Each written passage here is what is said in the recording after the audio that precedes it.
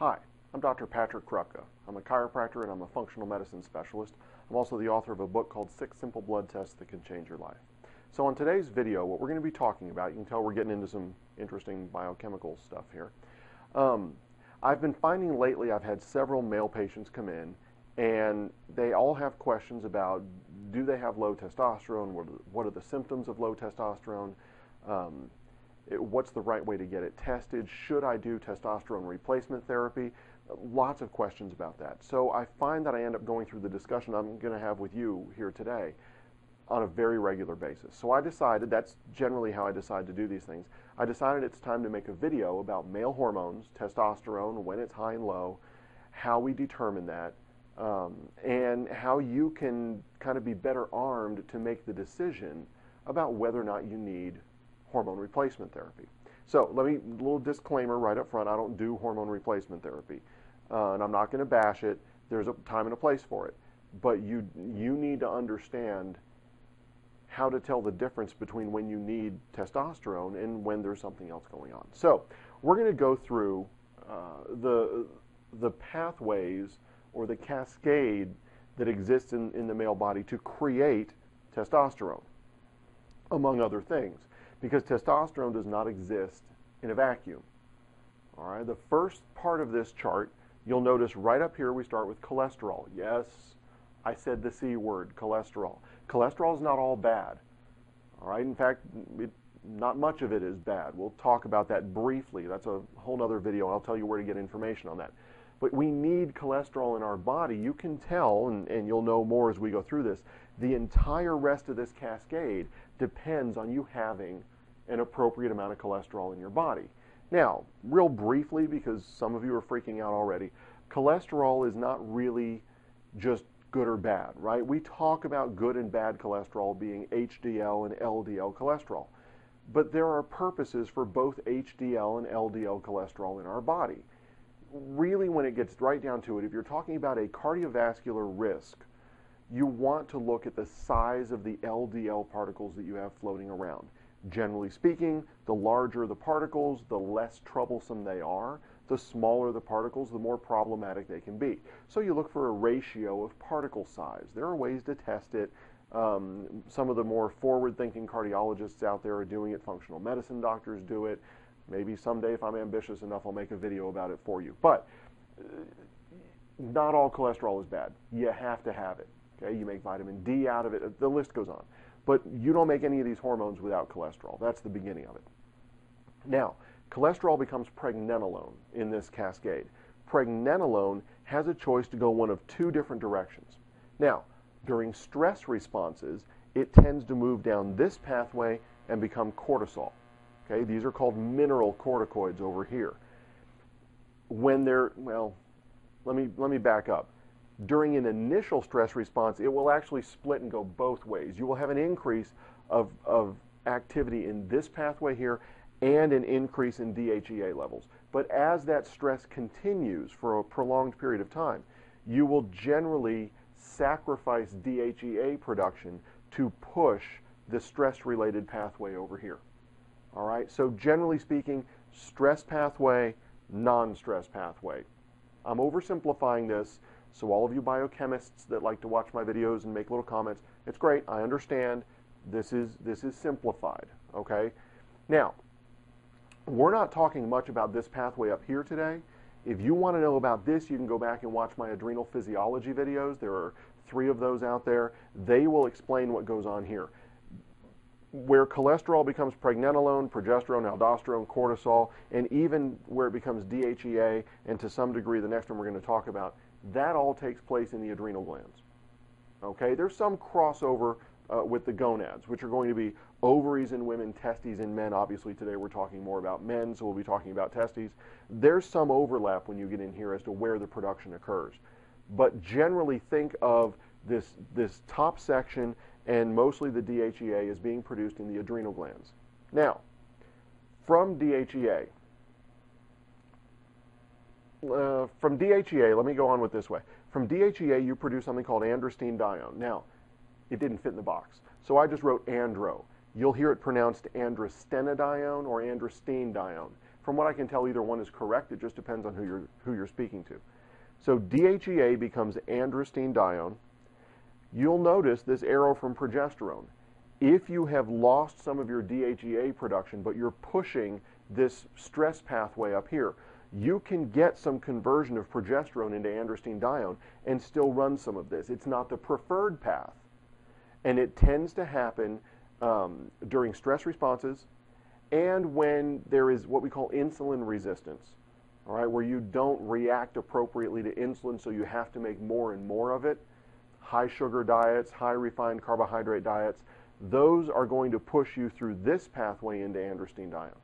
But either way you get there, all right, we're going to start with androstenedione and work our way through. So from androstenedione, now we're crossing over into a process that takes place more likely in the testes. Okay, there's still a little adrenal crossover here. But androstenedione has a reversible reaction to become testosterone. Notice that arrow goes both directions. That'll become important later on. Now we're finally creating testosterone. All of this had let, has finally led us to creating testosterone. Once we have testosterone, it does not always stay as testosterone. Testosterone can go downstream and become dihydrotestosterone, or DHT, and both androstenedione and testosterone can overflow, so to speak, and we'll talk about how this happens in a minute, and become estrogen. Estrone and estradiol are both estrogens. There's a third estrogen. There's a reason I didn't put it on this chart. We'll get to that. So that's the basic production and metabolism of testosterone. Now, why does all this matter, right? If you're low in testosterone, take testosterone, everything should feel better. Sometimes, not always. Let's talk a little bit about these two arrows right here. These arrows, each of these arrows, by the way, represents an enzyme. Okay? Each time you have, um, like progesterone becoming aldosterone, there's a mechanism somewhere biochemically that makes that conversion, and that's generally governed by one or a group of enzymes. Okay, and there are certain nutrients that come in here and, and push that reaction. So when we're talking about these two enzymes here, these are aromatase enzymes. There are medications that work to stop the effectiveness of those. But, but there are things that promote the activity of aromatase enzymes. Um, high percentage of body fat tends to do that. A high sugar diet, insulin resistance, high stress situations, all of those tend to push the aromatase enzyme activity, which means you're going to start to convert your androstenedione and testosterone into estrogen. That's not a great thing, right? We're looking for testosterone, we're converting it into estrogen. Estrogen is, uh, I can't really say it's opposite of testosterone, it's not black and white like that, but think of it as estrogen being the female androgen, testosterone is the male androgen, okay? This, this is to females what testosterone is to males. All right, that's, that's a, a simplistic way to think of it. Well, if you're a male who wants to maximize the effectiveness of testosterone, you don't want to have a ton of estrogen floating around. So you want to avoid behaviors and lifestyle choices that push that conversion into estrogen. Now, let's say you're in a situation, and a lot of guys are, you're overweight, you can't gain lean muscle mass, you keep losing the lean muscle mass, you don't have enough energy to go work out, you're stressed out, you're on a high refined sugar diet, you're going to be pushing these. And you're going to have all of the symptoms of low testosterone. What if I were to look at your chart and we just tested testosterone and that's low because it's all leaking into estrogen? So we look at that and we say, well, you know what? Let's give him some testosterone. If we give you testosterone, what's to keep that testosterone that we gave you from following the same path that your natural testosterone followed that left you low in the first place? Now you're riding the gas and the brakes when you take testosterone. You increase your testosterone levels, but you also in turn increase your estrogen levels. That doesn't necessarily fix the problem. You can see the trouble there. Now, let's take a different pattern. What if you're someone who, let's say, has low DHEA and low androstenedione, and therefore there's nothing to become testosterone, or there's not enough to become testosterone, and that's left you with low testosterone? Well, if we give you a bunch of testosterone, you may feel considerably better. But remember, this is a reversible reaction. that testosterone can kind of backfeed and become androstenedione. Not necessarily bad, but androstenedione is not going to become testosterone at that point because you have it already, right? You're taking it. So androstenedione is going to go down here and become estrogen. That can also become the stronger estrogen, which is estradiol. So you can see that testosterone does not exist on its own. One more thing to mention, DHT, dihydrotestosterone, you'll hear a lot about this. When DHT gets high, it is very common for that to cause mm, male hormone deficiency symptoms. Let's talk about how it does that for a second. DHT is actually a stronger androgen than, than testosterone is to begin with. But DHT will bind to those testosterone receptors about 10 times stronger than testosterone does. And so when you start building up too much DHT, that's implicated in prostate swelling, male pattern baldness, any number of issues. And that also tends to go high in the same lifestyle conditions that push the estrogens high.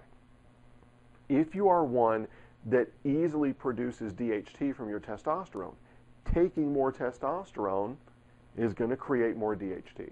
So I don't want to discourage you necessarily from, from doing testosterone. I want to discourage you from blindly wandering in to taking supplemental testosterone. I recommend to all of my male patients, uh, I would say after age 40, 35, if you've got issues, you should start looking at this cascade periodically and know your patterns, figure out how to change your lifestyle to create the appropriate patterns so you don't run into that situation. Now, once you're in that situation, if you're going to do testosterone replacement, I think it's very important to know this information so that you can somewhat predict what's going to happen when you add testosterone to your system. If you know where it's leaking, you know when you put testosterone in, it's going to leak in the same places.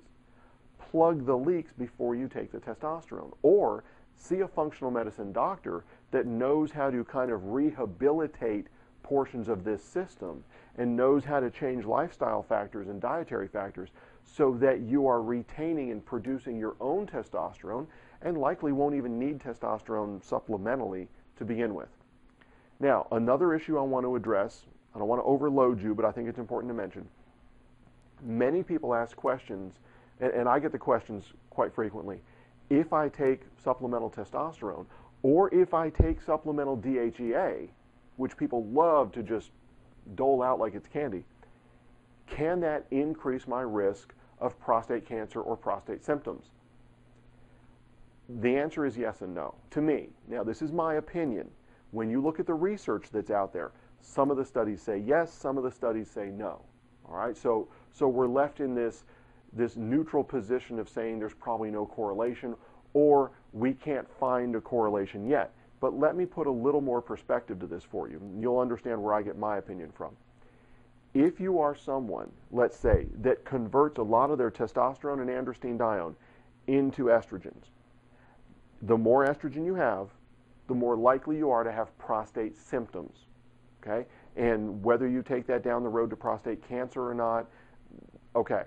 But prostate symptoms, we'll just be generic about this if you are someone who tends to overflow like that, and you add a bunch of DHEA and you start pushing this whole cascade, you are going to take whatever products this cascade makes already and you're going to accentuate those.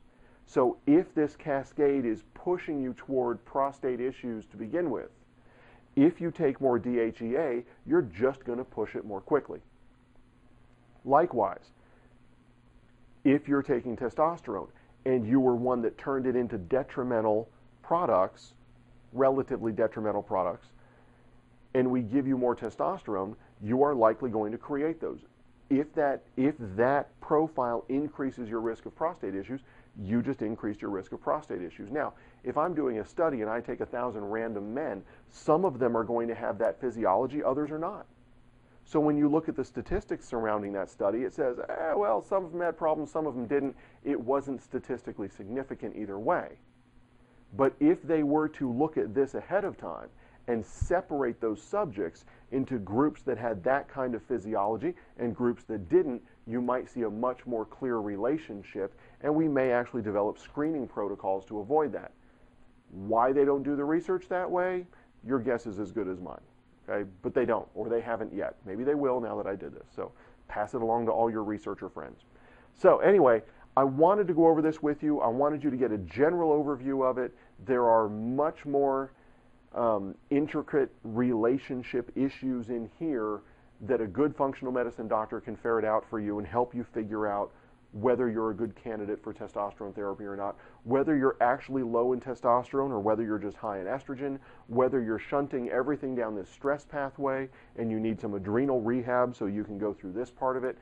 There are lots of options.